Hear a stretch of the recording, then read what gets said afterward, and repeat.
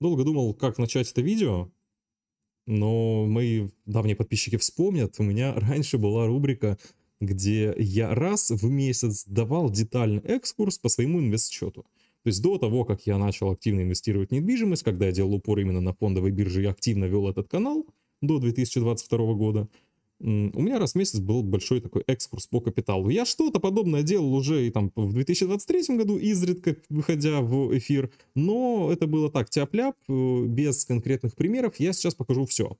То есть э, в первую очередь покажу свои инвест-объекты э, недвижимости, прям с фотографиями, какие там цифры помесячно, какие планы на будущее, и у меня 75% на данный момент моих инвестиций составляет инвестиций в недвижимость. То есть мой капитал сосредоточен на 75% в недвижимости. На 2024 год я поставил себе цель распределить свои, ну, как бы диверсифицировать свои инвестиции не только в недвижимость, но и на фондовую биржу и в крипту.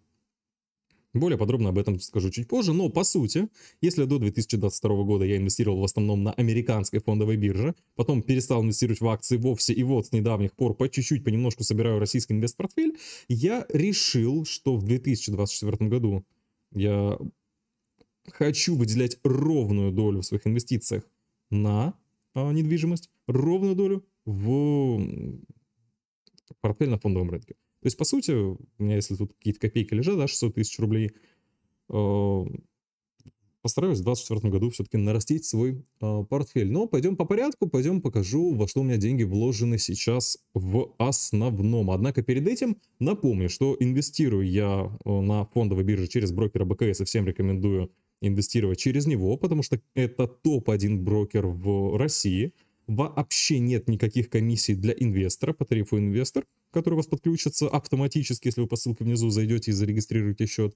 То есть комиссия 0% за покупку ценных бумаг и вообще ничего этот тариф не стоит. Я ни копейки не заплатил э, за свои инвестиции на этом счету. И обратите внимание, что э, вам откроют счет по ссылке внизу за 15 минут, который ничего не стоит. То есть вы можете открыть счет и пользоваться потом, например, э, если вам сейчас неудобно там, активы перевести, или вы там, хотите подробнее разобраться в в работе этого брокера или посмотреть там на приложение. Короче, чтобы не потерять э, из виду такую возможность, зарегистрируйтесь сейчас, а там уже потом разберетесь, надо оно вам или нет. В любом случае вас моментально там зарегистрируют и тариф бесплатный. А, плюсом к тому у вас по этой рефералке, по ссылке внизу, будет закреплен бесплатно консультант финансовый Сергей, то есть он поможет вам и портфель инвестиционный составить, и там с переводом активов других брокеров поможет. Короче, а, топ-1 брокер в России по объему активов клиентов, и не просто так, вот они, видите, даже комиссию с инвесторов никакую не берут. Если вы трейдер, фиксируйте, то есть э, свои позиции, будет с продаж ваших активов браться комиссия, но если у вас оборот будет больше, чем 250 тысяч рублей в месяц, там есть специальный тариф за 300 рублей, там практически нулевые комиссии у вас будут тоже. Что ж, давайте перейдем к моему инвестиционному портфелю. Вот они, где сосредоточены 75% моего капитала в недвижимости. И это всего 4 объекта. Два из них в Сочи, один Москва и один Туапсе. Давайте начну, наверное, с Туапсе. И это такой объект, который, он вроде объект Шрёдингера, он вроде есть, вроде его нет. Я его вообще никак не учитываю и в планы никак не включаю. Почему? Потому что этот объект я купил под льготную ипотеку, плачу за него 15 тысяч рублей в месяц, и э, квартира там стоит на 30 метров, строится, она еще не достроилась, ну, вернее, она вроде как что-то даже достроилась, вроде как там даже приемка какая-то была, я приемщика оплатил, там выписал э, ряд нарушений, э, допущенных при строительстве, вроде их исправляют, я, честно говоря, даже не вникаю, и это так, знаете, вот тысячу рублей в кармане зимней куртки вот забыл, вот я также про эту квартиру, можно сказать, забыл. Это на будущее просто ставка на обесценивание рубля. Ремонт этой квартире делать не планирую, это будет невыгодно, сдавать в аренду я тоже не буду, потому что там нет ремонта. Просто пусть полежит, 15 э, тысяч рублей в месяц ипотека стоит, это бесплатно, 2% годовых, ну, собственно, и фиг с ней. Понятно, что инфляция это все дело сжирает, но да, когда я покупал эту квартиру, я фактически за нее переплатил, потому что 5 миллионов рублей квартира за 30 метров в Туапсе не стоит, это очевидно. В общем, по этому объекту разобрались сразу. Идем дальше. А, давайте расскажу про сочинский объект. Это две квартиры, которые сдаются в аренду. Первая квартира, которую, даже если вы подписаны на мои э, другие соцсети, Telegram, Instagram, где я появляюсь чаще, ссылки, если что, в описании есть. Я когда жил в России, году, по-моему, это было в 2020-м, сторис снимал в основном из вот этой квартиры, э, потому что первое время я сам не жил. Э, когда жил в Сочи, это вот такая небольшая полуоднушка, полудвушка, есть вот такая спальня, это был мой рабочий кабинет, кто помнит мои истории с того периода, у меня здесь стоял э, компьютер, вот такая кухня, это сколько у нас? 60, по-моему, квадратных метров. Вот она. 40. Вру, вру. 40 квадратных метров, но она достаточно просторная. То есть я как человек, который там жил, тесно не было. Такая хорошая квартира, приличная, в отличном жилом комплексе. И э, я купил ее, по-моему, что ли, за 10 миллионов рублей. Сейчас она по рынку оценивается в 16 миллионов. Ну, понятно, да, что там с российским рынком вторичкой происходит. Я как человек, у которого было 9 инвестиционных объектов, и, как видите, осталось всего лишь 4-5, я продал. Не понаслышке знаю, что, ну, по сути, за 16 миллионов я, наверное, хрен ее продам. Ну, понятно, там дисконт какой-то делаешь. Ну, плюс-минус вот за такую цену можно э, ее ставить, а дальше начать торговаться. Покупал, еще раз напомню, за 10 миллионов без ипотеки, просто за наличные. И сейчас я сдаю ее за 50 тысяч рублей в месяц плюс коммуналка. Это не пиковая цена. Был период, я ее сдавал за что-то 70 тысяч рублей. До того, как я начал вести эту статистику, до того, как я много денег потерял в 2022 году на там, своих других инвестициях, до того, как я вот перезапуск сделал полностью и пересмотр своих э, целей ориентиров. Поэтому тут нет статистики старой, но, по сути, я инвестициями занимаюсь давно. Вот, и был у меня период, я сдавал аж по 70 тысяч рублей в месяц, но сейчас то что-то денег у людей не стало или что, спроса практически нет, еле-еле вообще ее сбагрил за 50 тысяч. И обратите внимание, вот видите, тут даже у меня есть один из э, периодов, когда я в убыток чистый вышел по аренде. То есть это вот график дохода со сдачи в аренду был чистый убыток. Это как раз по данной квартире был простой, то есть вообще никто не заселялся, понятно, что коммуналку плачу. И я пытался сдавать э, объект вот эти вот два посуточно, и вот это было как раз-таки с августа 23 года. В августе все прекрасно все сдалось. Правда, 90 тысяч мне две квартиры принесли чистыми, когда в долгосрок они приносили мне и больше в прошлом.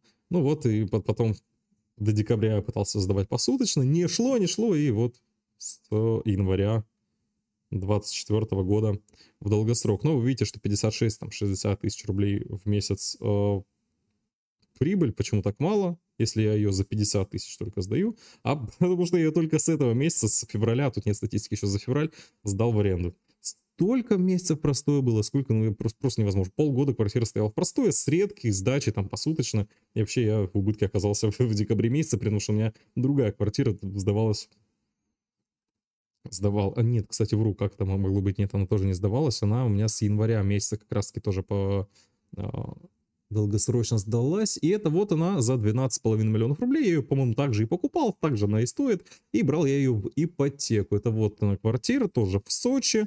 Она уже поменьше, по-моему, 30 квадратов, однушка. В ней я не жил, 36 квадратов. Я вот фотки показывал, вам уже видно, я надеюсь, да, отлично. Она скажем так, попроще. Жилой комплекс, где он находится, сильно проще. Я как-то там оставался э, на сутки снимал квартиру.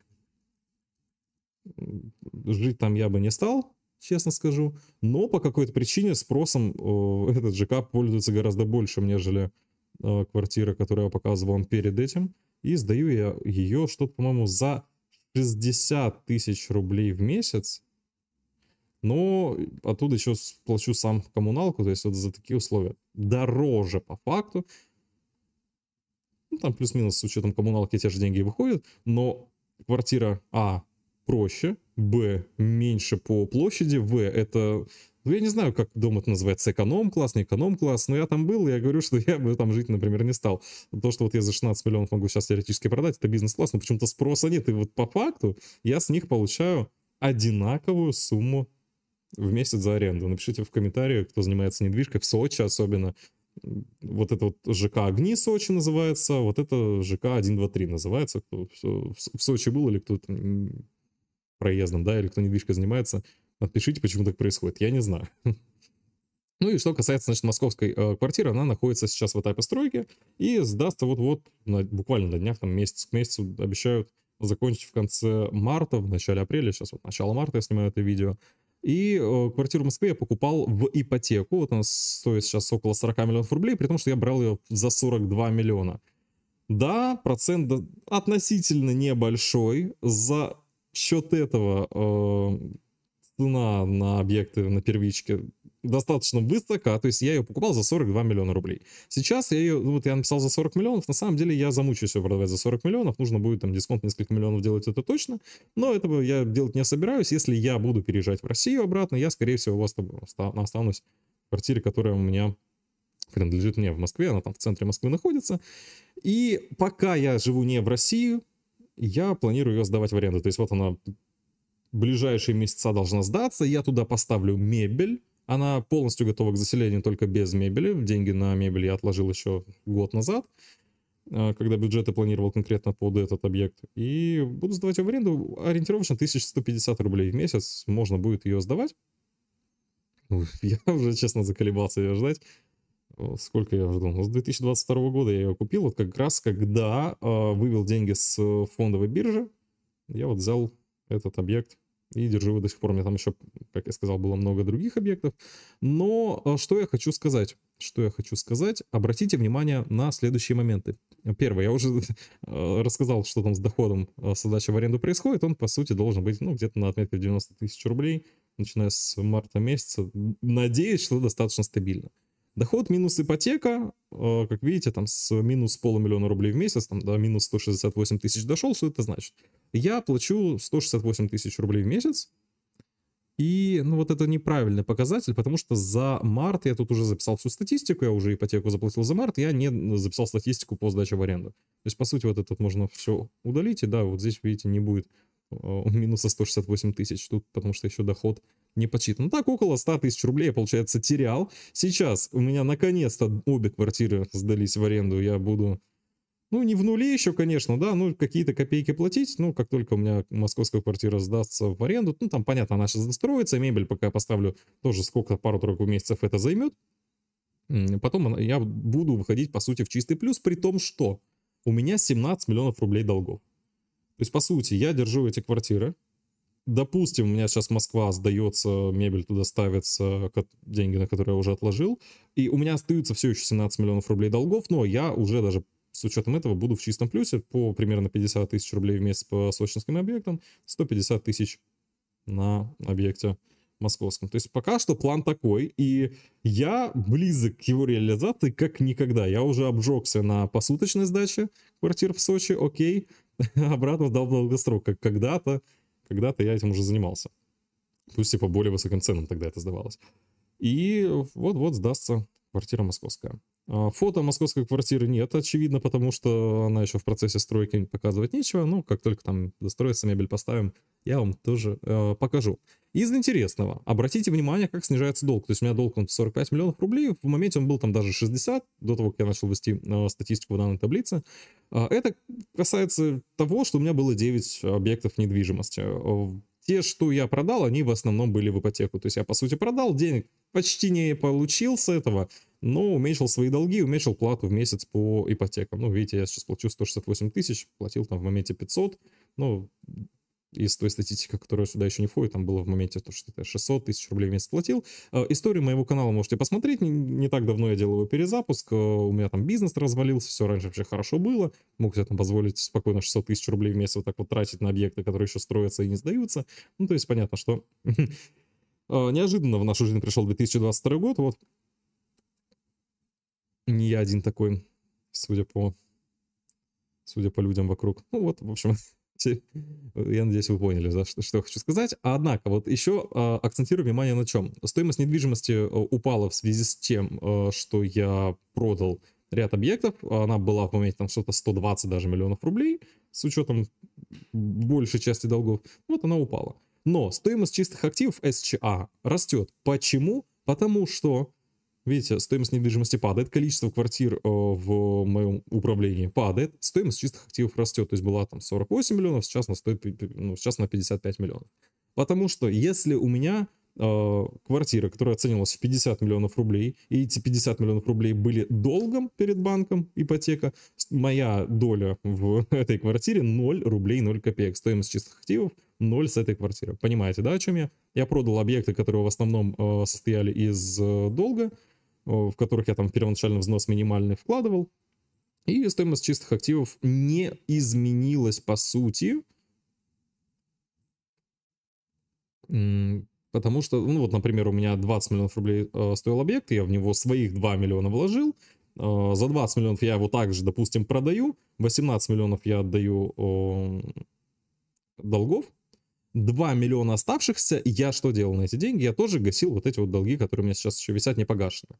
И получилось так, что стоимость недвижимости упала на 20 миллионов, очевидно, потому что я квартиру продал стоимостью 20 миллионов, а стоимость чистых активов не упал. У меня было 2 миллиона рублей чистых активов с э, этой конкретной квартиры. В моменте было минус 2 миллиона. Видите, тут моментами тоже оно падало, потому что были периоды, вот 6 миллионов, да, ведь оно упало. Были периоды, когда я продал квартиру 6 миллионов э, за вычетом ипотеки отданной, я получил на руки, и эти 6 миллионов еще не отправил в погашение э, текущих долгов. Вот был такой период, потом я, собственно, деньги направил, и э, стоимость чистых вернулась обратно. А растет она из-за того, что, ну, все-таки чуть-чуть цена на квартиру подрастает, я ее корректирую периодически, первое.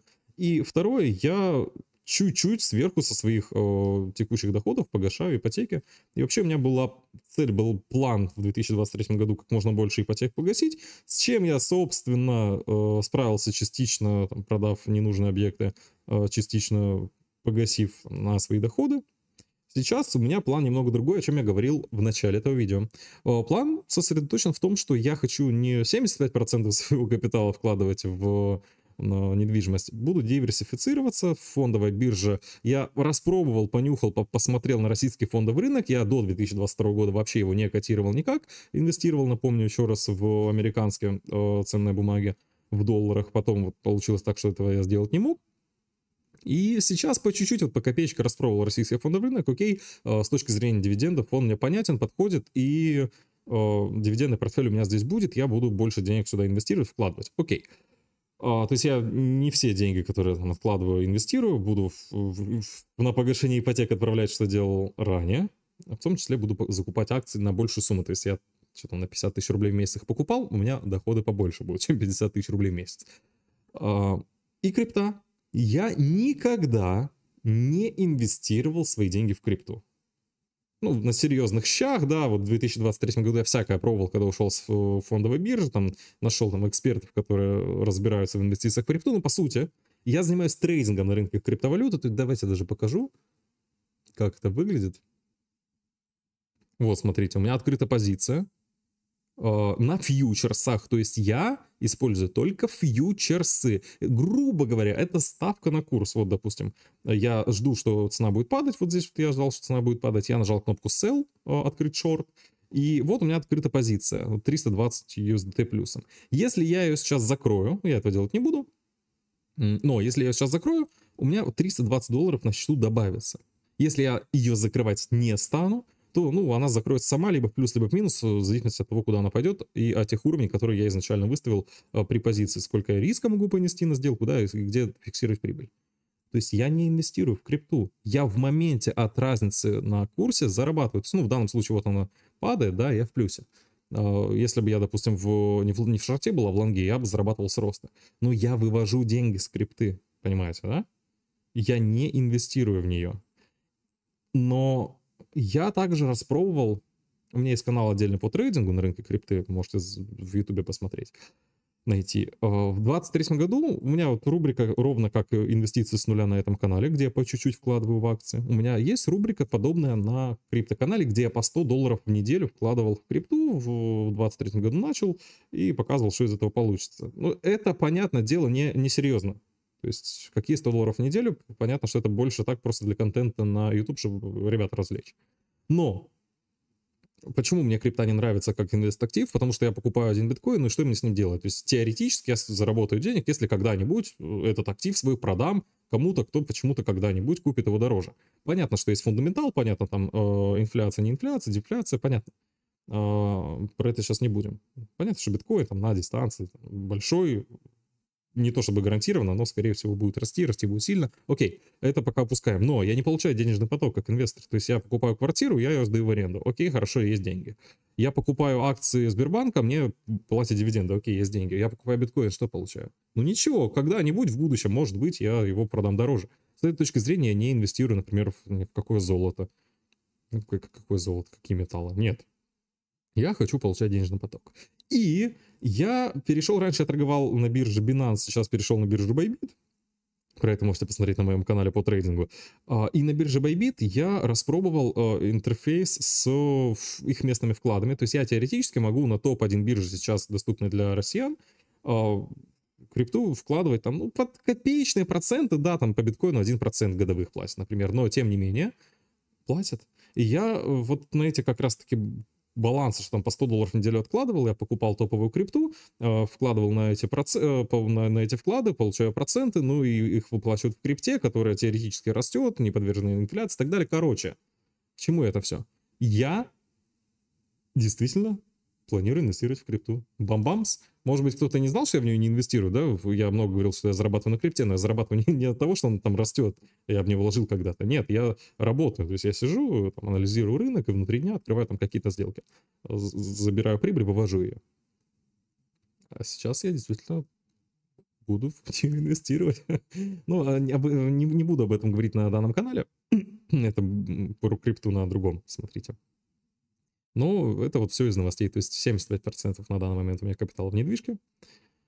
Буду диверсифицировать его в акции и в крипту. А, планирую примерно поровну. То есть, если у меня 50 миллионов рублей в недвижке, я планирую 50 миллионов рублей держать на а, фондовой бирже, 50 миллионов рублей в крипте.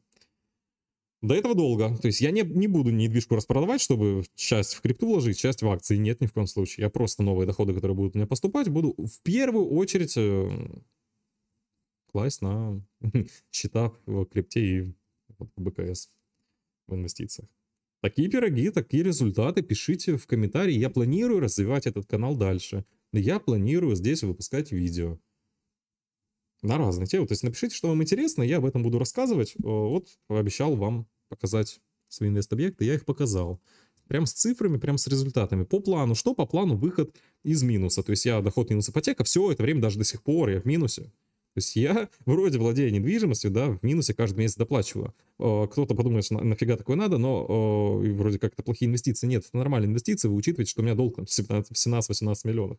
То есть я плачу за то, что у меня есть возможность использовать вот эти условно 18 миллионов ну, в своей торговле криптой, например. У меня, конечно, баланс меньше, но теоретически, да, вот есть у меня 18 миллионов, я мог бы не платить ничего абсолютно за ипотеку, погасив э, все долги, и получать там, да, чистый доход вот отсюда.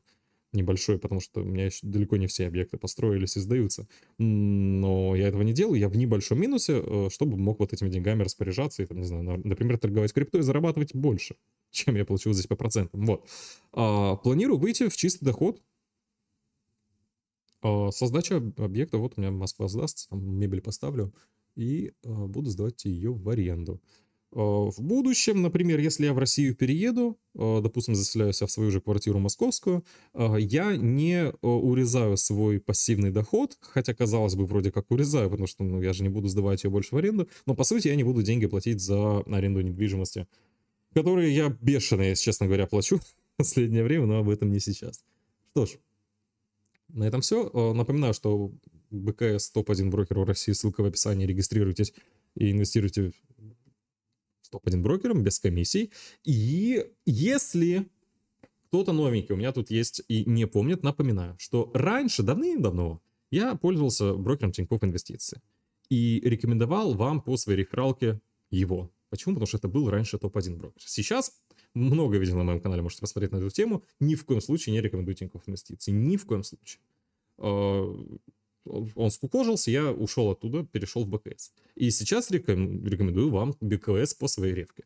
То есть, был бы, если Тиньков, например, топ-1, я бы его рекомендовал. Это не реклама. То есть, мне, по сути, за то, что я вам сейчас это показываю, не платят. Это рефералка обычная, которую я распространяю, потому что топ-1 брокер, которым я пользуюсь. Был бы другой брокер, я бы его рефералку рекламировал. Понимаете, да? Это не предвзятая э, рекомендация брокера, которым пользуюсь я сам. Вот, тоже вопросы были, типа, что за что реклама, реклама. Нет, это не реклама. Это правда топ-1 брокер России. Удачи.